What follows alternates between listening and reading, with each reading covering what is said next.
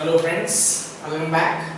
The topic that we are going to study today is relations. Okay, and the last time we have studied sets. So what you can do is that after studying this relation, you can always correlate sets and relations.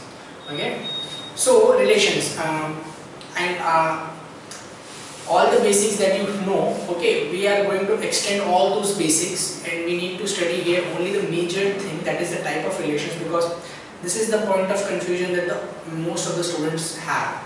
So let's start with types of relations. Now there are only five types of relations, five very simple types of relations that you need to study. Relations is a pretty simple chapter and if you study all these types of relation then it's over. So first type of relation is identity relation. Now what is this identity relation? The definition says that every element is related to itself only that means what? Suppose if there is a set A which contains 1, 2 and 3 as its elements, then a relation that is defined on A, if relation says that the ordered pairs are 1, comma 1, 2, comma 2 and 3, comma 3, then again this is this relation is according to this definition. That means every element is mapping with itself only and only. If one is not mapping with 2 or 3, one is mapping with 1 only. So that means every element is mapped with itself only. That means this relation is identity relation. The mapping is done with the identical element only. That's what we mean by identity relation. But the second type of relation that we come to is the reflexive relation. Reflexive relation is moreover the same as identity relation. What it says, it says that every element is related to itself. There is no only term here. There is a only term here, but there is no only term here. That means what? It can relate to itself, but then afterwards it can relate to other elements as well. For example, 1 comma 3 and 2 comma 3. This can happen. Now suppose that if if A is 1, 2, 3, 4, then if you if you if you are defining a relation like this that contains 1 comma 1, 1 comma 2, 2 comma 2 and 1 comma 4. So this is not an identity relation because 4 is not mapped with 4. But if I include a 4 comma 4 ordered pair then this relation is identity relation. But if I am not including this then this is not an identity relation because 4 is not mapped with 4. So it is important that each and every element has to map with itself first and then it can map with other elements. Okay. So identity relation, reflexive relation, moreover they are same. Don't confuse with the names. Okay, identity that means strictly identity. Reflexive that means it is reaching to the same element and then it is going to other elements. Now, symmetric relation. What do we mean by symmetric relation? Symmetric relation says that if there is an A relation B and if there is a B relation A, then they have to be equal. That means what? Suppose if there is an A relation B. So what is the ordered pair forming? The ordered pair that would form will be A comma B. And then the other, ordered pair from B relation R is formed that has to be B comma A. That means that suppose if 1 comma 2 is an ordered pair forming where 1 is from set A and B is from 2 is from set B then there has to be one more ordered pair that has to be formed 2 comma 1 where this is 2 is from set A and 1 is from set B. Now if we reverse, if we write this is A relation B, if we write B relation A, then it is same. Why? Because I can write here 2 comma 1 as well because 2 is in B and A is in 1. I can write here 1 comma 2 as well because 1 is in A as well and B in B there is 2 as well.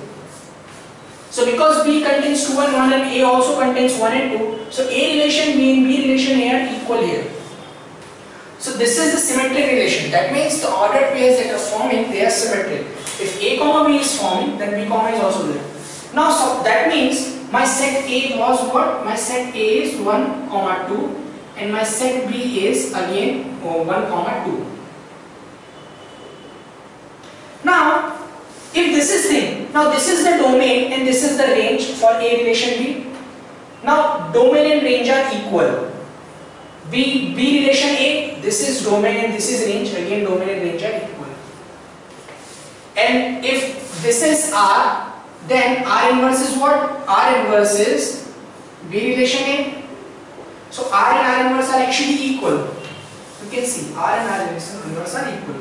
Now, a relation, symmetric relation defined on A itself can be like this 1 comma 2, 2 comma 1, 1 comma 1. That means they are mapping to the symmetric pairs 1 comma 2 and 2 comma 1. So, these are the symmetric ordered pairs. 1 comma 1 is always symmetric. Okay, there is no point. Now, after symmetric relation, we come to transitive relation. Now, understand what is transitive relation. If A relation B is there, that means if there is an ordered pair forming A comma B with this relation. If same relation is also relating B and C, that means if there is an ordered pair forming B comma C. So these two ordered pairs belong to a relation. Now there has to be an ordered pair which says A comma see. That means that this relation is also including this A and C as an ordered pair. Now actually what is happening C by this diagram. A is related to B by relation, B is related to C by relation if these two ordered pairs are these two ordered pairs are present if there is an ordered pair that is relating a to c that means if a comma b is there and b comma c is there a comma b and b comma c is there if there is an ordered pair a comma c as well that means this diagram is true because a related to b b related to c and then a is also related to c directly so if these three ordered pairs are present then our relation is called as transitive relation. Transitive relations that means A is directly related to C, A to B and then B to C and then we are directly going from A to C. So this is transitive relation. We are transiting from A to B, B to C and directly from A to C. So I think this diagram suffice all the things. Now one last type of relation is equivalence relation.